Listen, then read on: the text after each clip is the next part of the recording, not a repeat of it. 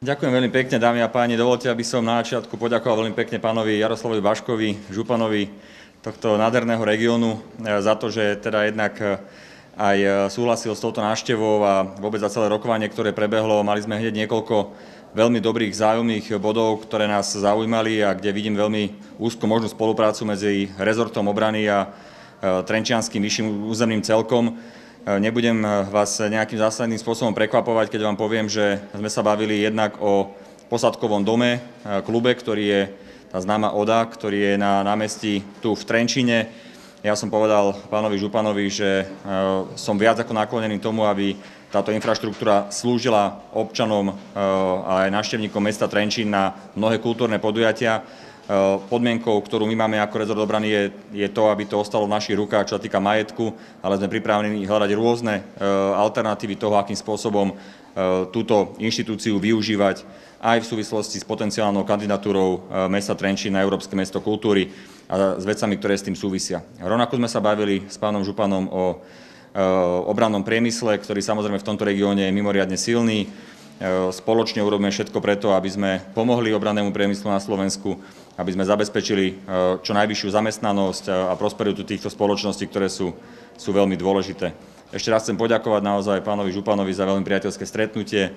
Je dobre rozprávať sa s bývalým ministrom obrany, ktorý veľmi dobre pozná rezort a infraštruktúru a problémy, ktorými aj my v rezorte žijeme a budem sa tešiť kedykoľvek v budúcnosti na ďalšiu spoluprácu. Ja chcem poďakovať tiež za návštevu pána ministra obrany počas jeho výjazdového dňa tu v Trenčine, v Trenčanskom kraji. Ja si veľmi dobre pamätám, my sme spolupracovali už dlhšie obdobie spolu, keď som sa stal štátnym tajomníkom roku 2006 na ministerstve obrany a potom ministrom obrany a ja som veľmi rád, že môžeme aj teraz niektoré spoločné témy riešiť.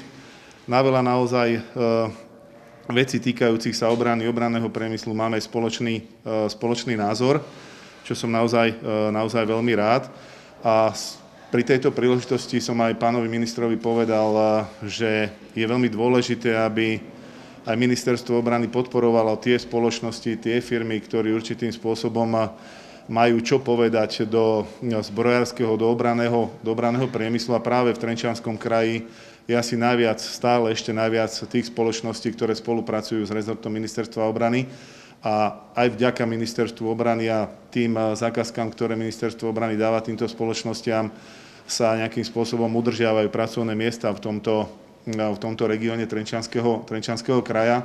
Určite sú problémy, boli problémy, aj budú určité problémy v budúcnosti, ale tie problémy sú na to, aby sa aby sa riešili a ja pevne verím, že aj ministerstvo obrany v budúcnosti urobí, urobí také kroky, kroky k tomu, aby naozaj tie spôsobilosti, ktoré potrebujú ozbrojené sily, boli zachované aj v týchto spoločnostiach do budúcna. Čo sa týka druhej takej témy, bol samozrejme majetok. Viete, že Trenčín bol v minulosti veliteľstvom tzv. východného okruhu, potom tu bol zriadený generálny štáb, ten sa potom presťahoval do Bratislavy a v súčasnosti sú tu dve veliteľstva, veliteľstvo pozemných síl a nové veliteľstvo špeciálnych, špeciálnych síl, čo nás naozaj veľmi teší. Pán minister povedal, že to je okolo 200 ľudí, ktorí tvoria toto veliteľstvo špeciálnych, špeciálnych síl a dotkli sme sa teda aj toho majetku, ktorého tu naozaj, naozaj bolo aj v minulosti veľmi veľa, aj po generálnom štábe a to, čo navrhol pán minister, je určitým riešením a my to, my to určite aj vítame aj spoločne mestom, s mestom Trenčín, že ak sa chceme my ako župa spoločne s krajským mestom Trenčín uchádzať o európske hlavné mesto kultúry, tak ministerstvo obrany by nám vyšlo v ústretí tým, že ODU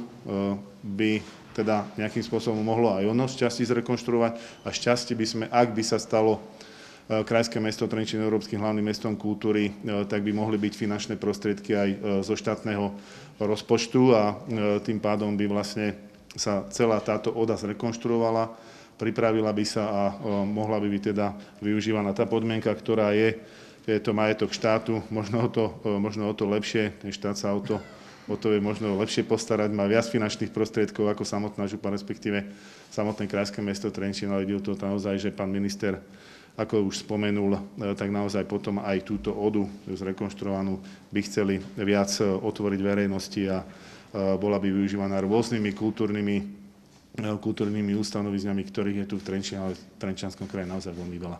Pán minister, ďakujem veľmi pekne za dnešný deň, za dnešnú návštevu, tú návštevu posádky v krajskom meste Trenčina. Želám vám všetko najlepšie, nech sa vám darí. Ďakujem veľmi pekne. Ďakujem. Ďakujem, že ste drsá. Ahoj, majte krásne. Čau. Dovidenia.